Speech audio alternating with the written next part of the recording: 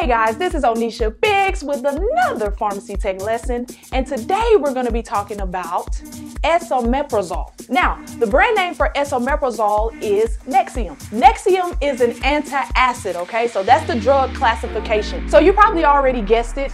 Antacids are used for acid reflux, they're used for heartburn, and also ulcers. Now, some side effects of Nexium can be headache, abdominal pain, irregular heartbeat. So the moral of this video is stay away from acidic foods and make sure that you're eating and drinking green at least three times out of the week. But ideally, try to get some in every day. All right, guys, so this has been O'neisha Biggs with another Pharmacy Tech lesson.